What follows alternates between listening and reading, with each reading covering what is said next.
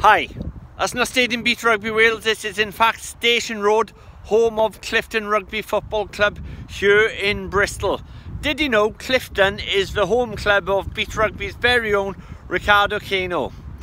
Hopefully he said he's going to run in at least two tries for Clifton this season. Hopefully I'll turn into two dozen. Hopefully we'll see the boys and girls from Clifton on the sand in Swansea Bay in 2022. Have a great season. Come on, Clifton!